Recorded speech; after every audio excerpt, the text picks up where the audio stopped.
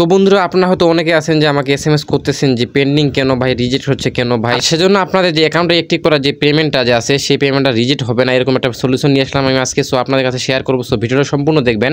So আজকের এই video দেখার পর আপনি চাইলে আপনার অ্যাকাউন্টে আর কোনোদিন রিজেক্ট আসবে না কোনো সময় পেন্ডিং থাকবে না মাত্র দুই মিনিটে আইডি অ্যাক্টিভ হয়ে যাবে। আমি কিন্তু আবারও বলতেছি ভিডিওটা মনোযোগ দিয়ে দেখুন কারণ এই ভিডিওটা দেখার পর আপনি চাইলে আপনার আইডিতে আর রিজেক্ট আসবে না কোনো সময় পেন্ডিং ধরে থাকবে না মাত্র দুই মিনিট আইডি অ্যাক্টিভ হয়ে যাবে কিন্তু। আর আপনাদের আইডিতে যদি এরকম হয়ে থাকে আপনি কি করবেন? আপনি যখন টাকাটা ওদেরকে সেন্ড মানি করবেন সো এখান থেকে যেগুলো সিলেক্ট করবেন সো আমি নগদ সিলেক্ট করে দিচ্ছি।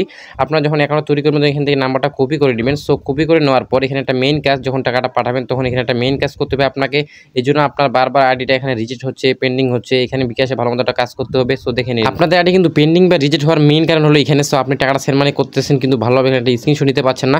সো এখানে ভালোভাবে দেখুন সো আমি নাম্বারটা সিলেক্ট করে দিলাম, এখান থেকে নেক্সটে ক্লিক করে দিলাম, আর এখান থেকে আমি অ্যামাউন্টও দিয়ে দিলাম একশো। সো আপনারা এভাবে একশো টাকা অ্যামাউন্টটা দিয়ে দিবেন। আর এখানে একশো টাকা সিলেক্ট করে আপনি পাসওয়ার্ড দিয়ে এখান থেকে টেপ করে টাকাটা সেন্ড মানি করে দিবেন। আর সেন্ড মানি এখান থেকে হয়ে গেলে আপনি এখান থেকে কোনো প্রকার স্ক্রিনশট নেবেন না। আমি আমি কিন্তু আবার বলতেছি, আপনার এখান থেকে স্ক্রিনশট নেবেন না। এখান থেকে কোনো প্রকার স্ক্রিনশট নেবেন না। সো আপনি এখান থেকে কী করবেন? টাকাটা পাঠার পর এখান থেকে বেক করে দিবেন। আর আপনি বেক করে দেওয়ার পর এখানে দেখতে পাচ্ছেন যে ডান পাশে এখানে লেখা আছে যে ইনবক্স এই ইনবক্সে ক্লিক করে দিবেন। আর এখানে ক্লিক করে দেওয়ার পর আপনি দেখতে পাবেন ডান পাশে যে লেনদেন সমূহ এখানে ক্লিক করে দিবেন। ক্লিক করে দেওয়ার পর আপনি যে সেন্ড মানি করছেন, ওদেরকে ওটার উপরে ক্লিক করে দিবেন। সো আমি ক্লিক করে দিলে আপনি এখান থেকে কী করবেন এখন? এখান থেকে একটা স্ক্রিনশট মারে নেবেন এবং নিচে দেখতে পাচ্ছেন ট্রানজাকশন আইডি এটা কপি করে নেবেন এই স্ক্রিনশটটা যে আমি এখানে সাবমিট করি, তাহলে আপনাদের অ্যাকাউন্ট একশো পার্সেন্টের মধ্যে একশো পার্সেন্ট একটি করে দেবে সঙ্গে সঙ্গে।